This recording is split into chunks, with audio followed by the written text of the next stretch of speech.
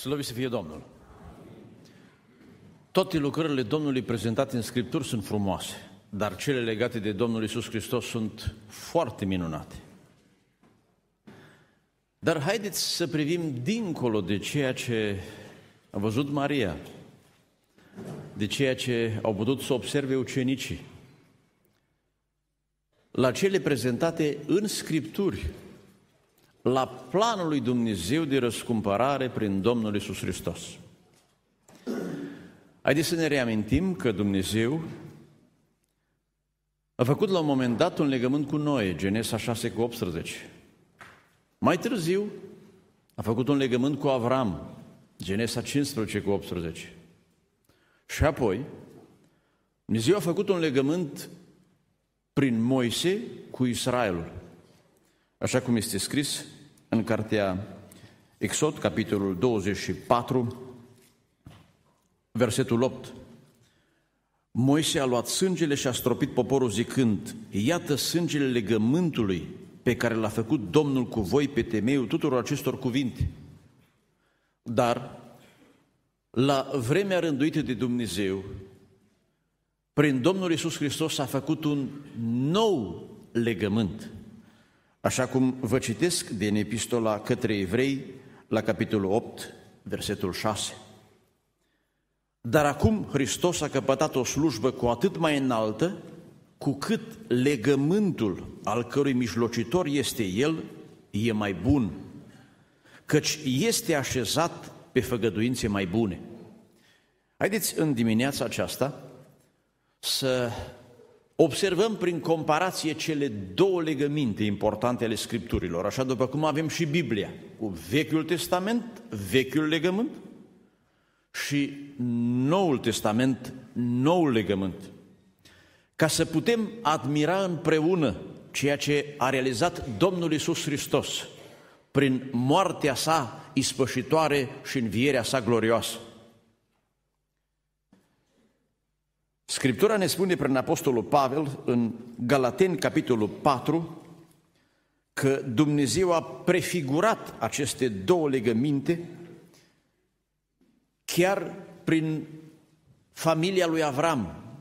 Iată ce scrie în Galaten 4 cu 22 în continuare. Căci este scris că Avram a avut doi fii, unul din roabă și unul din femeie slobodă. Dar cel din roabă s-a născut în chifiresc, iar cel din femeie slobodă s-a născut prin făgăduință. Lucrurile acestea trebuie luate în alt înțeles. Acestea sunt două legăminte – unul de pe muntele Sinai, cel vechi sau cel din tâi. Acesta naște pentru robie și este Agar. Căci Agar este muntele Sinai din Arabia și răspunde Ierusalimului de acum, care este robie împreună cu copiii săi. Dar Ierusalimul de sus este slobod și el este mama noastră și vizează noul legământ. Privind la legământul din tâi, care este al evreilor. Așa cum scria Pavel în Roman 9, ei au darea legii, legămintele, făgăduințele, din ei au ieșit patriarhii. Și observând că încă din Vechiul Testament Dumnezeu a făgăduit un alt legământ, așa cum vă citesc din cartea profetului Ieremia, capitolul 31, de la versetul 31.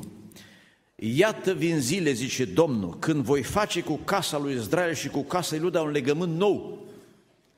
Nu ca legământul pe care l-am încheiat cu părinților în ziua când i-am apucat de mână să-i scot din țara Egiptului, legământ pe care l-au călcat, măcar că aveam drepturi de soț asupra lor, zice Domnul, ci iată legământul pe care îl voi face cu casa lui Israel după zilele acelea și vom vorbi despre el. Să le privim prin comparație.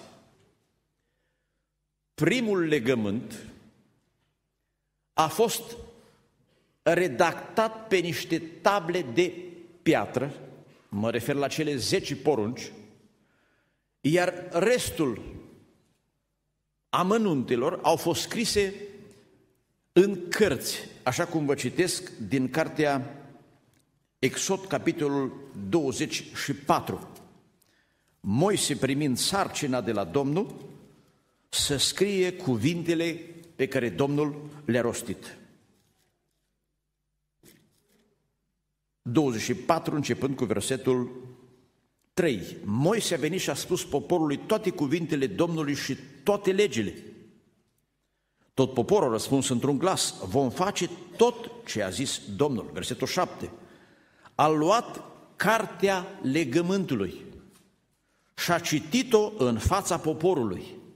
Ei au zis, vom face și vom asculta tot ce a zis Domnul. Acea carte, potrivit cu cele scrise în Evrei, capitolul 9, pentru ca să fie semnată, autentificată, a fost stropită cu sânge împreună cu toate uneltele, cu toate obiectele sfinte. Evrei 9, de la versetul 18. De aceea și întâiul legământ n-a fost sfințit fără sânge. Și într-adevăr, Moise, după ce a rostit înaintea întregului rod toate poruncile legii, cum v-am citit din Exod, a luat sânge de viței și de țap cu apă, lână, stacojie și isop, a stropit cartea și tot norodul și a zis, acesta este sângele legământului care a poruncit Dumnezeu să fie făcut cu voi. De asemenea, a stropit cu sânge cortul și toate vasele pentru slujbă. Noul legământ n-a mai fost redactat pe piatră, scris cu slove. De aceea, iată cum vă citesc din Evrei, capitolul 8, versetul 10. Dar iată legământul pe care îl voi face o casa lui Israel după acele zice, zile, zice Domnul. Voi pune legile mele în mintea lor le voi scrie în inimile lor. Și ca să vedem cum s-a realizat minunea aceasta, vă citesc cele notate de Apostolul Pavel în 2 Corinteni la capitolul 3, începând cu versetul 3 până la 6. Voi sunteți arătați ca fiind epistola lui Hristos, scrisă de noi ca slujitori ai Lui, nu cu cerneală. Apostolii au o slujbă diferită față de Moise, ci cu Duhul Dumnezeului celui viu, nu pe niște table de piatră, ci pe niște table care sunt inim de carne. Avem încrederea aceasta tare în Dumnezeu prin Hristos. Nu că noi pre noi înșine suntem în stare să gândim ceva ca venind de la noi, sonicia noastră din potrivă vine de la Dumnezeu, care ne-a făcut în stare să fim slujitori a unui legământ nou, nu al slovei, ci al Duhului, că slova omoară, dar Duhul de viață, slăvit să fie Domnul. A fost scris acest legământ în mintea ta? Dacă l-a încheiat Dumnezeu cu tine, trebuie să fie redactat în minte, prin Duhul. Astfel îl pricepi, îl înțelegi. Iată o altă diferență. Legământul din tâi de pe Sinai a fost dat prin îngeri. Vă citesc din epistola scrisă de Pavel Galatenilor, la capitolul 3, versetul 19, ni se spune Legea a fost adăugată din pricina călcărilor de lege până când avea să vină sămânța, care îi fusese făcută făgăduința și a fost dată prin îngeri, prin mâna unui mijlocitor.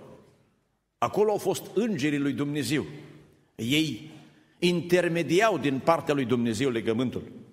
Și vreau să vă amintiți și de Ștefan, care în predica sa a reținut acest amănunt și l-a adus în fața ascultătorilor, fapte capitolul 7, versetul 33, când îi mustră plin de puterea Duhului Sfânt și le zice, voi care ați primit legea dată prin îngeri și n-ați păzit-o.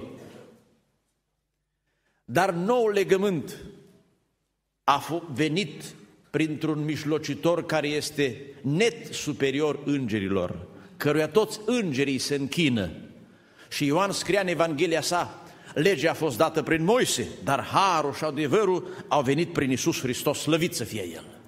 Despre acest adevăr vă citesc în Evrei, capitolul 9, versetul 15. Și tocmai de aceea este El mișlocitorul unui legământ nou. Iată cu cine avem de a face. În al treilea rând, vreau să observăm diferența dintre locașurile de închinare. În Evrei, capitolul 9, este scris că primul legământ era derulat în cortul întâlnirii și apoi în templu. Și iată aici lucrarea aceasta descrisă pe scurt. Citesc de la versetul 1. Legământul din tâi avea și el porunci privitoare la slujba dumnezeiască și la un locaș pământesc de închinare. În adevăr, s-a făcut un cort în partea dinainte numită locul sfânt, în prima încăpere. Era sfeșnicul, un simbol al Domnului Hristos. Masa și pâinele pentru punerea înaintea Domnului, un simbol al trupului său, adevărata pâine venită din cer. Tot în partea aceasta era altarul tămâierii, tot cu reflexie spre Domnul Hristos și lucrarea sa. După perdeaua a doua se afla partea cortului care se chema locul prea sfânt. În el, obiectul principal era chivotul legământului, acea lădiță sacră în care era un vas de aur cu mană, toiagul lui Aron și tablele legământului. Deasupra erau herovimii slabe care acopereau capacul ispășirii cu umbra lor. Și Pavel zice, notăm și noi, nu este vremea să vorbim acum cu deamănunte despre aceste lucruri. Amintesc doar că acest obiect sacru, chivotul legământului, era oglindirea tronului Dumnezeu din cer, unde oamenii nu aveau acces. Știți că Dumnezeu șade pe heruvim și serafim în jurul lui strigă într-una, Sfânt, Sfânt este Domnul. Dar vă rog să observați că nou legământ are și un locaș de închinare. Iată ce scrie aici de la versetul 11 unde a slujit Domnul Hristos, putem spune. Dar Hristos a venit ca mare preot al bunurilor viitoare, a trecut prin cortul acela mai mare și mai desăvârșit, care nu este făcut de mâini. Adică nu este din zidirea aceasta. De aceea, de la Domnul Hristos încoace, nu mai avem de-a face cu clădiri sacre, Cine este pus în față un alt cort, dacă îl putem simboliza printr-o încăpere unde locuiește Dumnezeu în cer, a intrat odată pentru totdeauna locul prea sfânt, nu cu sânge de țap și de viței, ci cu însuși sângele său după ce a căpătat o răscumpărare veșnică. Și citește și versetul 20 și 4, căci Hristos n-a intrat într-un locaș de închinare făcut de mână omenească după chipul adevăratului locaș de închinare, ci chiar în adevăratul locaș de închinare. Și a intrat chiar în cer, ca să se înfățișeze acum pentru noi înaintea lui Dumnezeu. Iată cuvintele spuse Mariei ce însemnătate aveau.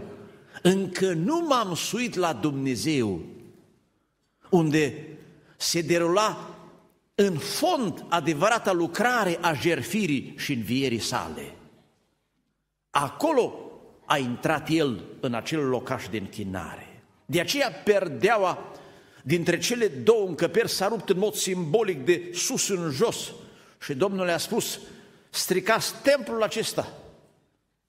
Își încheiase mandatul. Vreau să observăm acum și diferența dintre slujbe. În Vechiul Testament erau efectuate de preoți și leviți. Și eu doar vă reamintesc că Dumnezeu a zis, numere 18, oricine altul se apropie să fie omorât. În Noul Testament, în nou legământ, marele nostru preot este Domnul Isus Hristos.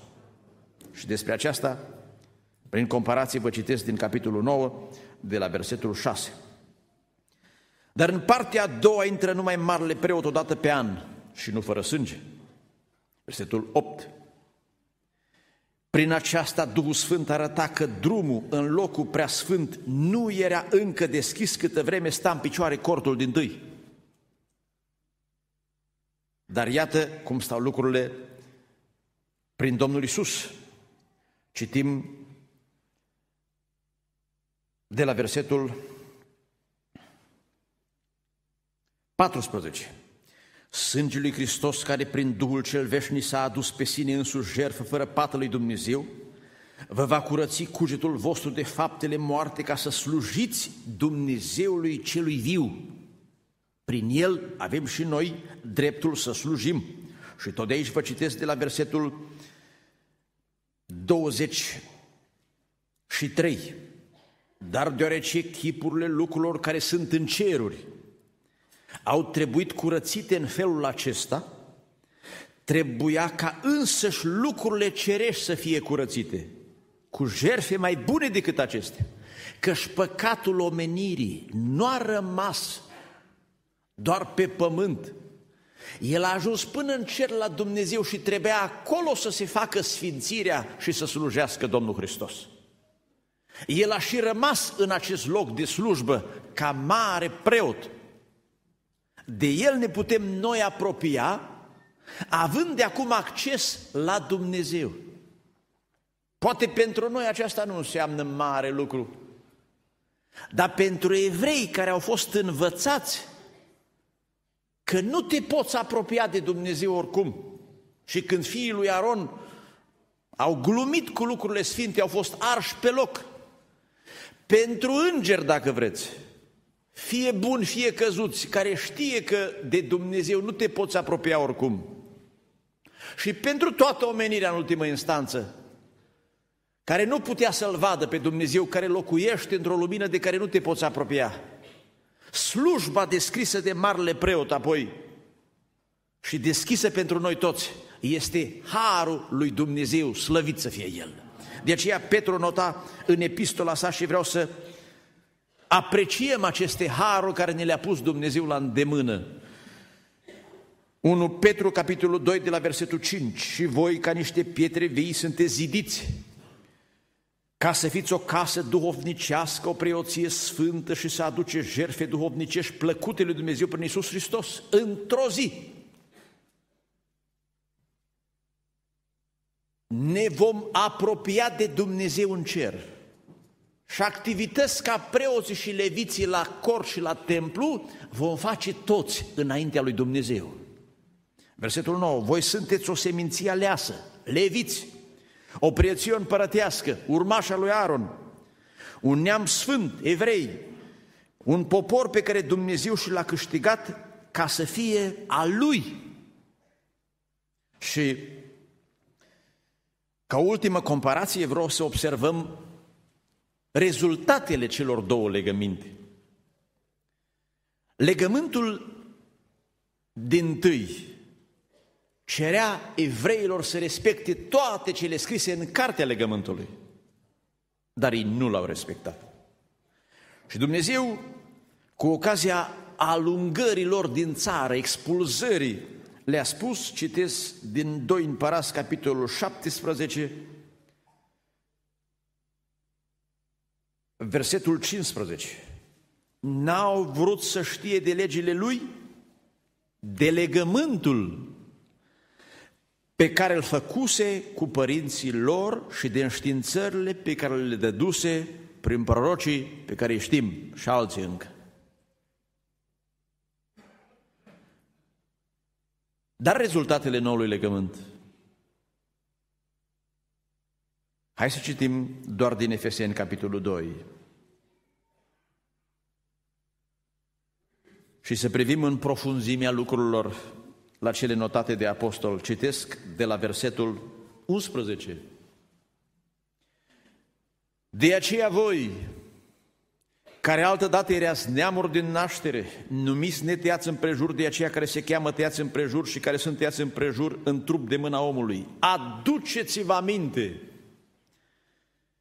că în vremea aceea erați fără Hristos, fără drept de cetățenie în Israel, străini de legămintele făgăduinței, fără nădejde și fără Dumnezeu în lume. Dar acum în Hristos Iisus, voi care din oară erați depărtați, că nu ne dădea nimeni voie să ne apropiem de Dumnezeu și de locul sacru, ați fost apropiați prin sângele lui Hristos, căci El este pacea noastră care din doi a făcut unul și a surpat zidul de la mijloc care îi despărțea. Versetul 16, și am păcat pe cei doi cu Dumnezeu într-un singur trup, prin noul său templu, prin cruce prin care a nimicit vrășmășia. Și apoi scrie în capitolul 3 că neamurile împreună cu evrei iau parte la aceeași făgăduință prin Evanghelie conform versetului 6. Aici un aspect. În vremea noastră vin unii și propovăduiesc că se va construi un al treilea templu, poate. După mai bine de 1500 de ani, s-a reînființat Sanhedrinul evresc în anul 2004. Și întrucât nu sunt sigur că pot să construiască un templu datorită conflictului cu arabii și poziționării moscheii lui Amar pe același loc, a făcut un plan secund de construire a cortului lui David care este mobil. Poate că îl vor construi. Dar un templu după modelul vechiului legământ nu mai are nicio relevanță înaintea lui Dumnezeu. Dacă îl vor mai face, are pentru ei un aspect tradițional, religios, mozaic, cultural sau de altă factură. Dar, odată ce a intrat pe rol nou legământ, discutăm de un alt templu și de o altă formă de slujire înaintea lui Dumnezeu. Vreau să observăm legătura dintre cele două legăminte. Că să nu spună cineva, ce a făcut Dumnezeu în Vechiul Testament? A fost un proiect greșit și l-a regândit și a făcut un altul? Nu. Vechiul legământ a fost o prefigurare al celui de-al doilea. Iată ce este scris în Galateni, capitolul 3, de la versetul 21. Vechiul legământ avea același scop, dar nu s-a putut realiza în mod desăvârșit. Să readucă omul în comuniune cu Dumnezeu. Galaten 3 cu 21. Atunci este oare legea împotriva făgăduințelor lui Dumnezeu? Nici de cum. Versetul 22. Dar Scriptura a închis totul sub păcat pentru ca făgăduința să fie dată celor ce cred prin credința în Iisus Hristos. Înainte de venirea credinței, noi eram sub paza legii închiși pentru credința care trebuia să fie descoperită. Astfel legea și întreg sistemul vechiului legământ ne-a fost un îndrumător spre Hristos, adică ne-a orientat, ne-a dat ideea jerfei, răscumpărării. A fost o machetă de dimensiuni compatibile cu gândirea omenească a ceea ce este în cer, ca să fim socotiți neprins prin credință. După ce a venit credința, nu mai suntem sub îndrumătorul acesta. Și tot în această idee vă citesc și din Evrei, capitolul 10, de la versetul 1. În adevăr, legea care are umbra bunurilor viitoare. Deci observați legătura, nu înfățișarea adevărată a lucrurilor, a fost doar o machetă, doar un, niște simboluri. Și iată ce scrie aici, referitor la scop, citesc de la versetul 19. Astfel, dar fraților, fiindcă prin sângele lui Iisus avem o intrare slobodă în locul preasfânt, că aici era neajunsul legii vechi testamentale arăta nevoia să se apropie omul cu Dumnezeu, dar îi punea perdeaua. că perdeaua era un simbol, dar în fond era un zid de despărțire între noi și Dumnezeu, care trebuia despicat. Și în locul perdelei și a zidului s-a pus Domnul Iisus Hristos. Și îndată ce trupul a fost frânt, drumul a fost deschis. Iată ce scrie aici. Pe calea cea nouă și vie pe care ne-a deschis-o El prin perdeaua dinăuntru, adică trupul Său. Și fiindcă avem un mare preot pus peste casa lui Dumnezeu, iată șansa noastră să ne apropiem cu o inimă curată, cu credință de plină, cu inimile stropite și curățite de un cuget rău și cu trupul spălat de o apă curată. Doamne, ajută-ne să ne apropiem de Dumnezeu, dar ținând cont de toate regulile sfințeniei și curăției. Este un har, dar care trebuie privit cu responsabilitate. De asemenea, ca legătură dintre vechiul și noul legământ, trebuie să observăm că Dumnezeu l-a lăsat ca să arate neputința umană. Să se dovedească faptul că omul nu putea să se mântuiască pe sine și că era nevoie de harul lui Dumnezeu. Pentru aceasta vreau să vă amintesc doar din Iosua 24, unde acest om al lui Dumnezeu a provocat în final poporul să slujească Domnului. Știți ce au spus oamenii? Și așa pot să spună toți la rândul lor. Iosua 24, pagina 259, citesc de la versetul 19. Iosua a zis poporului, voi nu veți putea să slujiți Domnului, căci este un Dumnezeu sfânt, un Dumnezeu gelos. El nu vă va ierta fără de legile și păcatele, când veți părăsi pe Domnul și veți sluji unor Dumnezei străini, El se va întoarce, va face rău și va nimici după ce v-a făcut bine. Poporul a zis lui Iosua, nu, că vom sluji Domnului. Iosua a zis poporului, voi sunteți martori împotriva voastră înși vă că ați ales pe Domnul ca să-i slujiți. Ei au răspuns, suntem martori. Dar nu s-a putut. Pentru că Dumnezeu avea un alt plan și despre lucrarea sa vă citesc și din Roman, capitolul 11, Și tare aș vrea, fac aici o mică paranteză, să nu rămâneți doar cu evenimentele pe care le știe tot poporul. Domnul Iisus a înviat, s-a arătat la cei 11, peste o stămână și lui Toma, s-a arătat și la femei și când va mai sărbătorim iarăși? Vreau să privim la profunzimea lucrărilor lui Dumnezeu. Iată ce este scris în Romani 11 de la versetul 30 și 1 despre neascultarea evreilor și neputința omului de a rămâne în legământul din tâi. Tot așa și acum n-au ascultat, pentru ca prin îndurarea tată vouă să capete și ei îndurare, fiindcă Dumnezeu a închis pe toți oamenii în neascultare ca să aibă îndurare de toți. Și acum o exclamație care trebuie să o rostească orice om care gândește la Dumnezeu și lucrările sale. O, adâncul bogăției înțelepciunii și științei lui Dumnezeu! cât de nepătrunse sunt judecățile Lui și cât de neînțelese sunt căile Lui. Și în adevăr, cine a cunoscut gândul Domnului sau cine a fost fetnicul Lui? Și într-o ultimă parte, aș vrea să observăm superioritatea noului legământ la care să ținem și pe care să respectăm. Amin? Faptul că evreii n-au respectat legământul din tâi, întru totul, în litera legii, nu este o problemă. Pentru că Domnul Iisus Hristos, prin sângele legământului celui nou, a venit să rezolve problema celor din Vechiul Testament. Așa cum vă citesc în Evrei 9 cu 15 răscumpărând pe toți evrei de sub vechiul legământ. Că scrie aici, hai citim mai întâi versetul 9. Aceasta este o asemănare pentru vremurile de acum când se aduc daruri și jerfe și bieții evrei trudeau, care nu pot duce pe cel ce se închină în felul acesta la desăvârșirea cerută de cugetul lui. N-a putut duce la desăvârșire acele jerfe. Dar scrie acum versetul 15.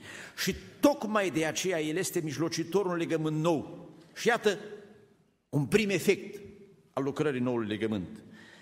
Pentru ca prin moartea lui, pentru răscumpărarea din abaterile făcute sub legământul din tâi. Toate abaterile sub legământul din tâi sunt rezolvate de el. Cei ce au fost chemați să capete veșnica moștenire care le-a fost făgăduită. De aceea credincioșii din Vechiul Testament aveau nevoie de credință. Ei toți au priceput prin Duhul că nu-i suficient. Zice, de exemplu, David în Psalmul 51, Doamne, jerfe, ți-aș fi adus de toate. Tu vrei altceva. De aceea Abel a adus prin credință o jerfă.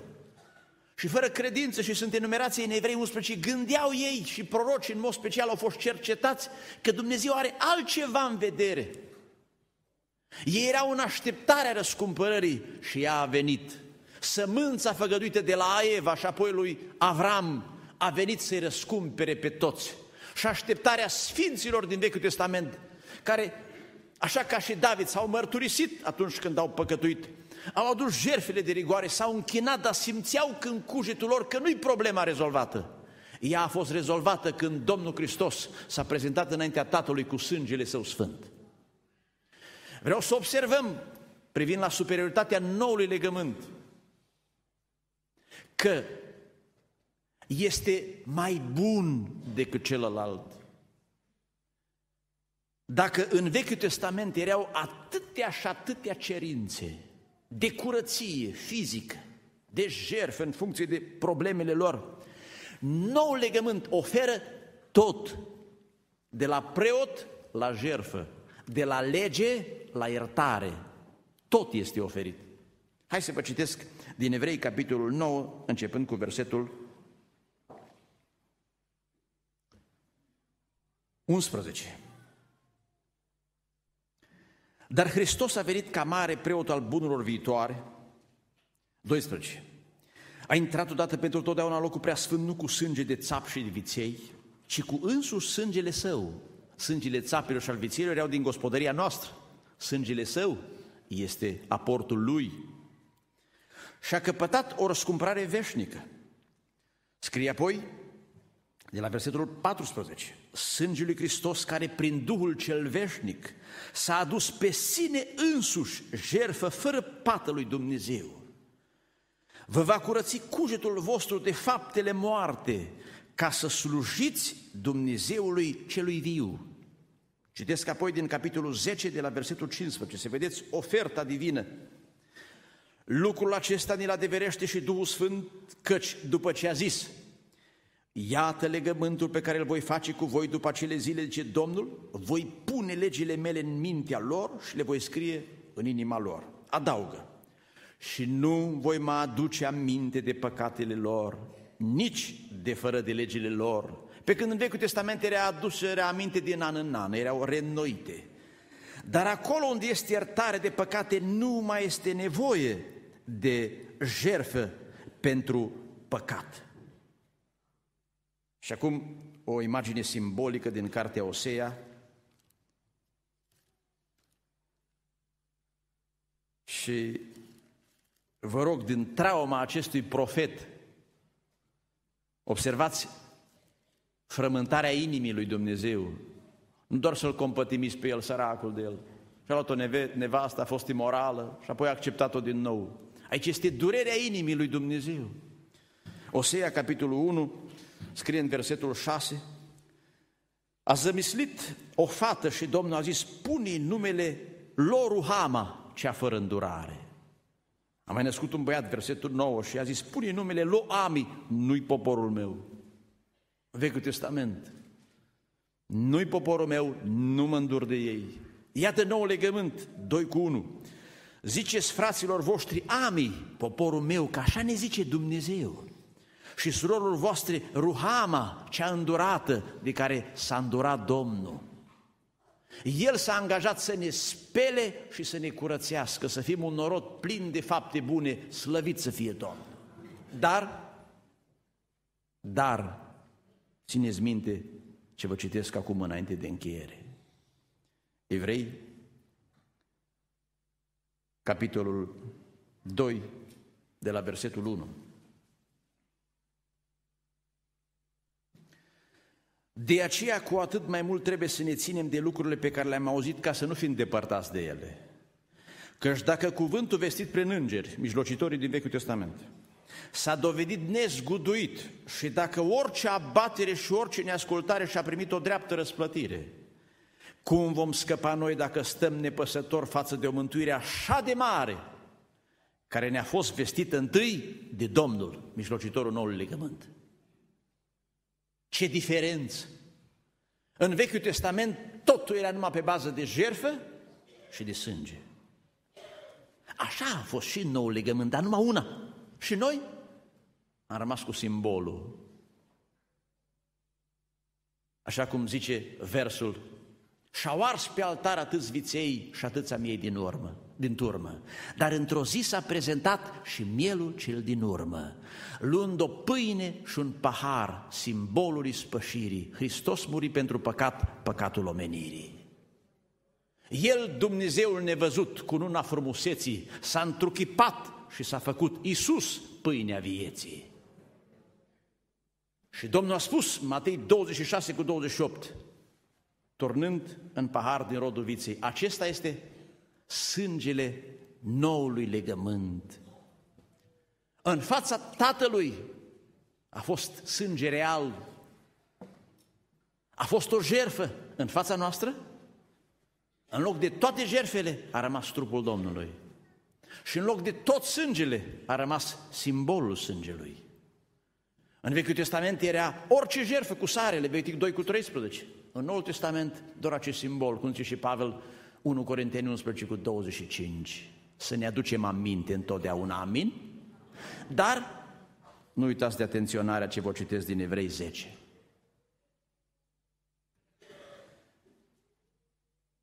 De la versetul 23 este scris Să ținem fără șovăiri la mărturisirea nădejdii noastre, că și credincios este Cel ce ne-a făcut făgăduința. Să veghem unii asupra altora și să ne îndemnăm la dragoste și la fapte bune, să nu părăsim adunarea noastră cum au unii obicei, ci să ne îndemnăm unii pe alții cu atât mai mult cu cât vedeți că ziua se apropie. Și vă rog să observați cum face legătura dintre cele două legăminte și efectele lor, jurisdicția. Căci dacă păcătuim cu voia după ce am primit cunoștința adevărului, nu mai rămâne nicio jertfă pentru păcate, ci doar așteptarea înfricoșată a judecății și văpaia unui foc care vei mistui pe cei răzvrătiți. Cine a călcat legea lui Moise, cel din tâi legământ, era omorât fără milă, pe mărturia a doi sau trei martori. Cu cât mai aspră pedeapsă credeți că va lua cel ce va călca în picioare pe Fiul lui Dumnezeu și va păgări sângele legământului. Avem un legământ nou și foarte bun, dar foarte sever. Și cu care a fost sfințit și va batjocori pe Duhul Harului, căci știm cine este cel ce a zis, a mea este răzbunarea. Și în altă parte, Domnul va judeca pe poporul său. Înainte l-a numit nu poporul meu, acum a zis, e poporul meu, dar eu îl judec la gata. Grozav lucru este să cazi în mâinile Dumnezeului celui viu.